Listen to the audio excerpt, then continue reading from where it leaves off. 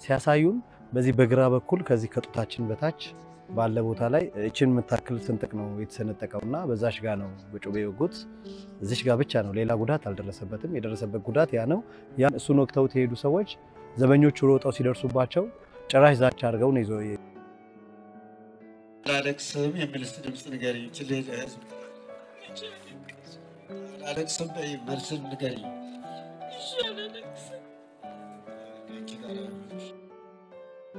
ቴዲ ቡናማውን ማን ገደለው?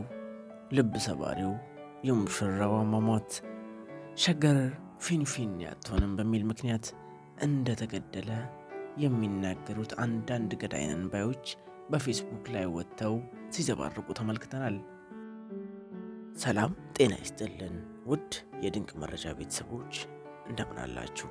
ስለ ቴዲ ቡናማው አዲስ ያገኘናቸውን መረጃዎች ይዘን መጥተናል። ለቻናሉ አዲስ ከሆናችሁ subscribe በማድረግ የቻናሉ ቤተሰብ እንድትሆኑ እየጋበዝኩ እስከ መጨረሻው ፕሮግራማችን ፍጻሜ ድረስ አብራችሁን ቆዩ። ከሞት ሞት ይላሉ፣ በወጡበት ወጥቶ መቅረት። ሞት እኮ አይቀሬ ነገር ነው። ቢሆንም ግን ቴዲ ላይ የደረሰው ከሞትም በላይ ነው። ለስራ በወጣበት ቤተሰቡ ካሁን ካሁን ይመለሳል እያለ በራፍ በራፉን ሲመለከት እሱ ግን ላይመለስ ሄደ። ማንነታቸው በቁጥ እንኳን በማይታወቅ አሸባሪዎች ምክንያት ሕይወቱን እንደ ቀልድ ሲነጠቅ አይደለም ለቤተሰቦቹ ይቅርና ለሰሚውም እንኳን እጅግኑ ልብ ይሰብራል። በምስሉ ላይ የምትመለከቱት ቴዲ ቡናማው የኢትዮጵያ ቡና ደጋፊ በሶስት ሰዎች ታክሲ ውስጥ ሕይወቱን ተነጥቆ ተገኝተዋል። አሟሟቱ ልብን ይሰብራል። የዕለት እንጀራዬን አገኛለሁ ብሎ ምሽት ላይ ወደ ሥራ እንደወጣ በአረመኔዎች ሕይወቱን ሲነጠቅ ቴዲ ቡናማው ወላጅ አልባ ነው። ብዙ ችግሮችን፣ ብዙ መከራዎችን ያለማንም አጋዥና ደጋፊ ተቋቁሞ ያለፈ ይህ ልጅ እናትም አባትም ሳይኖረው በራሱ ጥረት በራሱ ልፋት ኑሮውን ለማሸነፍ ቀን ከሌት ታታሪና ቅን ወጣትም ነበር። ቴዲ ቡናማው ምንም እንኳን የራሱ ብዙ የሕይወት መከራዎችን ቢያልፍም የራሱን ችግርና መከራ ወደ ኋላ ትቶ ለተቸገሩት ረዳት ጧሪ ቀባሪ ለሌላቸው እናቶችና አዛውንቶች ድጋፉን ለማድረግ ወደ ኋላ የማይል በጎ አድራጊ ልጅ እንደሆነ ጓደኞቹም ይህን እንደሚመሰክሩለት አይተናል።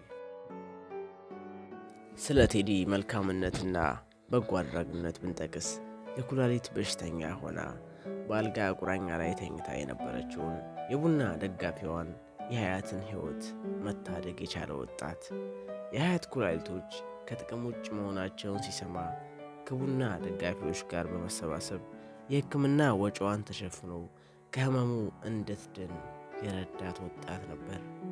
ቴዲ ቡናማው ሰሞኑን ብዙ ትኩረቶችን ወስዷል። የ125ኛ የአድዋ ድል በዓል ሲከበር እንደ እናትም እንደ አባትም ለሚያያት ብቸኛው ለሕይወቱ መጽናኛ ያልሆነችው ፍቅረኛው የአድዋ ድል ሲከበር በሚኒሊክ አደባባይ ላይ የታገቢኛለሽ ወይ ጥያቄም አቅርቦላት ነበር። ይህ አጋጣሚም ትኩረትን ስቦ በኢቢኤስ ቴሌቪዥን በእንግድነት ለመጋበዝ በቅተው ነበር። ከታገቢኛለሽ ወይ ጥያቄም በኋላ ለፍቅረኛው ቀለበት አደረገላት።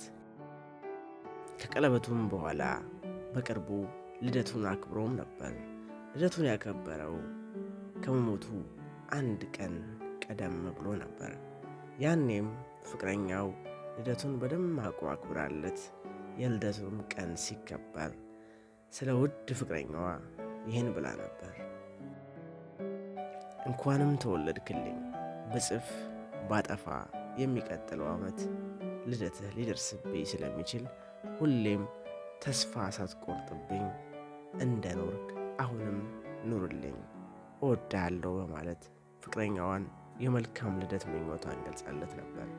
ልደቱን ባከበረ በነገታው የሆነው ግን ልብን በሐዘን የሚያኮማትር ክስተት ነው። በነፍሰ በላዎች ሕይወቱን ሲነጠቅ ሬሳውን በዓይናቸው ያዩት የቴዲ ጓደኞች እንዲህ ይላሉ። ምክንያቱም ልጁ ካለው ባህሪ አኳያ ጥፊም አይገባውም እንኳን አይደለም በመሳሪያና በተለያየ ስለት መወጋት ጥፊም አይገባውም ለቴዲ። ምክንያቱም ቴዲ አያስቀይምህም። ብታስቀይመው ራሱ ቆጣ ብለህ ብትናገረው የሚደነግጥና ከአካባቢው ዞር የሚል ልጅ ነው እንጂ ይህን ያህል ሰው የሚጎዳ ወይም ደግሞ ቴዲ እኔ እርግጠኛ ነኝ ቴዲ ሰው አስቀይሞ ይሄ ነገር ይመዘዝበታል ብዬ አላስብም። አዎ እንግዲህ ያው ከነበርነው ሰዎች የተወሰንን እንድንገባ ተደረገና አስክሬኑን እናያለን ብለን አለን። ከዛ የአስክሬኑን አሳዩን። ሲያሳዩን በዚህ በግራ በኩል ከዚህ ከጡታችን በታች ባለ ቦታ ላይ እችን የምታክል ስንጥቅ ነው የተሰነጠቀውና በዛሽ ጋ ነው በጩቤ የወጉት። እዚሽ ጋር ብቻ ነው፣ ሌላ ጉዳት አልደረሰበትም። የደረሰበት ጉዳት ያ ነው። ያ ደግሞ ለሞት የሚያደርስ ከባዱ ቦታችን ነው። እኛ እንግዲህ ያው አናውቀውም፣ ግን ከሐኪሞች እንደሰማ ነው ያ ቦታ ላይ መወጋት ለከባድ እንዳተርፍ የሚያደርግህ ለጉዳት የሚያደርስ ነገር ነው እና እጅግ በጣም ነው የሚያሳዝነው እና እንግዲህ ከሐኪም ባለሙያዎች እንደነገሩን ከሆነ እንደዚህ አይነት አደጋ የሚያደርሱ ሰዎች እውቀቱ ያላቸው ናቸው የሚል እምነት አላቸው። ለመጉዳት የቱ ጋር ማን ቢጎዳ ምን እንደሚመጣ በደንብ ጠንቅቀው የሚያውቁ ሰዎች ናቸው ይላሉ።